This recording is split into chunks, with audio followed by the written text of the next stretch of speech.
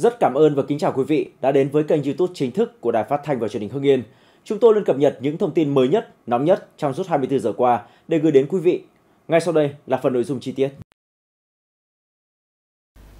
Tưởng nhớ Tổng Bí thư Nguyễn Phú Trọng, xin mời quý vị và các bạn cùng ôn lại những điều đặc biệt về người lãnh đạo luôn tận tụy vì nước vì dân, người cộng sản kiên trung, liêm khiết, chân chính, một hình mẫu cho phong cách lãnh đạo giản dị, gần dân, sát dân, luôn vì lợi ích của nhân dân, là một người mà cả cuộc đời dành hết sức mình cho công cuộc xây dựng Đảng vì đất nước Việt Nam hùng cường và thịnh vượng. Tổng Bí thư Nguyễn Phú Trọng được kết nạp Đảng năm 23 tuổi khi đang là sinh viên năm thứ tư khoa ngữ văn trường Đại học Tổng hợp Hà Nội. Có thể nói vào những năm 60 của thế kỷ trước, việc kết nạp sinh viên vào Đảng không nhiều, nếu không muốn nói là rất hiếm và Tổng Bí thư Nguyễn Phú Trọng là một trong số những sinh viên hiếm hoi như thế. Tổng Bí thư Nguyễn Phú Trọng là một trong số ít Tổng Bí thư xuất bản 35 đầu sách. Đó là minh chứng cho sự xuất sắc về tư tưởng, bởi 35 đầu sách đó chính là sự cụ thể hóa tư tưởng Hồ Chí Minh trong thời kỳ đổi mới. Tổng Bí thư Nguyễn Phú Trọng là tấm gương sáng về cần kiệm, liêm chính, trí công vô tư, là nhà lãnh đạo có phong cách rất giản dị, khiêm tốn, mẫu mực, gần gũi với mọi người. Nhắc đến việc Bộ Chính trị vừa trao tặng huân chương sao vàng cho Tổng Bí thư Nguyễn Phú Trọng, phần thưởng cao quý này là hoàn toàn xứng đáng, cũng là sự ghi nhận của Đảng, Nhà nước đối với những đóng góp to lớn của Tổng Bí thư Nguyễn Phú Trọng. Phần thưởng này không chỉ là niềm vinh dự, tự hào riêng của Tổng Bí thư Nguyễn Phú Trọng, mà là sự vinh dự, tự hào chung của toàn Đảng. Một điều đặc biệt khác ở Tổng Bí thư Nguyễn Phú Trọng là Tổng Bí thư có học hàm, học vị cao nhất từ trước tới nay, giáo sư, tiến sĩ chính trị học, chuyên ngành xây dựng Đảng. Trong thời gian làm Tổng Bí thư, có một nửa nhiệm kỳ, đồng chí vừa làm Tổng Bí thư, vừa làm Chủ tịch nước từ tháng 10 năm 2018 đến tháng 2 năm 2021. Đồng chí là lãnh đạo thứ ba, giữ đồng thời hai chức vụ lãnh đạo chủ chốt này. Đầu tiên là Bác Hồ, thứ hai là đồng chí Trường Trinh và thứ ba là đồng chí Nguyễn Phú Trọng. Trong thời gian vừa làm Tổng Bí thư, vừa làm Chủ tịch nước, có một điều đặc biệt là người dân Việt Nam sau đúng 50 năm mới được nghe thơ chúc Tết lúc giao thừa của bác. Giao thừa năm 1969, người dân được nghe thơ chúc Tết của bác Hồ. Từ đó đến giao thừa năm 2019, người dân Việt Nam mới lại được nghe thơ chúc Tết của Tổng Bí thư Chủ tịch nước Nguyễn Phú Trọng. Xuân này hơn hẳn mấy xuân qua, thắng lợi tin vui khắp nước nhà, cả nước hân hoan mừng xuân mới, khải hoàn ta viết tiếp bài ca. Trong bốn câu thơ này, hai câu đầu Tổng Bí thư Nguyễn Phú Trọng mượn thơ của bác, hai câu sau là thơ của Tổng Bí thư. Rồi đến giao thừa năm 2020, Tổng Bí thư Chủ tịch nước Nguyễn Phú Trọng cũng học theo thơ Bác Hồ, nôm na mấy vần. Năm qua thắng lợi vẻ vang, năm nay cả nước chắc càng thắng to.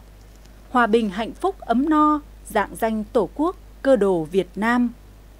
Ở hai câu đầu, Tổng Bí thư cũng mượn thơ của Bác Hồ, chỉ thay một từ, còn hai câu sau là thơ của Tổng Bí thư. Điều đặc biệt nữa, Tổng Bí thư Nguyễn Phú Trọng có lẽ là trường hợp đầu tiên tham gia và là ủy viên Ban Thường vụ Đảng ủy Công an Trung ương. Theo điều lệ Đảng, Tổng Bí thư trực tiếp là Bí thư Quân ủy Trung ương, nhưng hai nhiệm kỳ gần đây, Tổng Bí thư Nguyễn Phú Trọng vừa là Bí thư Quân ủy Trung ương, vừa là ủy viên Ban Thường vụ Đảng ủy Công an Trung ương. Đây là việc từ xưa đến nay chưa từng có tiền lệ. Ở một khía cạnh khác, trong gần 3 nhiệm kỳ vừa qua, Tổng Bí thư Nguyễn Phú Trọng đã để lại nhiều bài học quý về công tác cán bộ, về đấu tranh phòng chống tham nhũng tiêu cực. Hơn 10 năm nay, kể từ khi kiện toàn Ban chỉ đạo Trung ương về phòng chống tham nhũng tiêu cực mà trực tiếp do Tổng Bí thư Nguyễn Phú Trọng làm trưởng ban năm 2013. Thực tiễn cho thấy công tác đấu tranh phòng chống tham nhũng được đẩy lên một giai đoạn mới cao hơn, mạnh mẽ hơn, quyết liệt hơn, hiệu quả hơn, với tinh thần không có vùng cấm. Tổng kết 10 năm hoạt động của Ban chỉ đạo cũng nhấn mạnh rằng chưa bao giờ công tác đấu tranh phòng chống tham nhũng tiêu cực được chỉ đạo bài bản, mạnh mẽ, quyết liệt và đem lại hiệu quả thiết thực như những năm gần đây. Điều này đã giúp tăng cường, củng cố niềm tin của nhân dân đối với Đảng. Đây là điều rất quan trọng khi nhân dân vừa tin tưởng, vừa hưởng ứng cuộc đấu tranh chống tham nhũng, để cuộc đấu tranh này trở thành xu thế không thể đảo ngược. Đó chính là dấu ấn Tổng Bí thư Nguyễn Phú Trọng để lại cho toàn Đảng, toàn dân.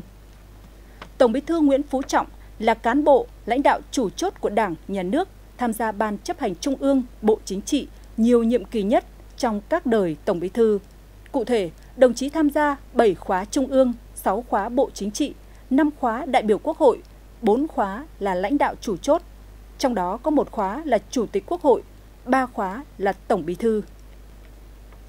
Ngày 14 tháng 4 năm 2024 vừa qua, Tổng Bí thư Nguyễn Phú Trọng tròn 80 tuổi là Tổng Bí thư đương chức cao tuổi nhất qua tất cả các đời Tổng Bí thư kể từ khi thành lập Đảng đến nay. Trái tim nhân hậu của một nhân cách lớn, Tổng Bí thư Nguyễn Phú Trọng đã ngừng đập. Nhưng Tổng Bí thư đã để lại một kho di sản giá trị tinh thần quý báu. 57 năm đứng trong hàng ngũ của Đảng, đồng chí Tổng Bí thư Nguyễn Phú Trọng đã có nhiều cống hiến to lớn cho sự nghiệp cách mạng vẻ vang của Đảng và dân tộc.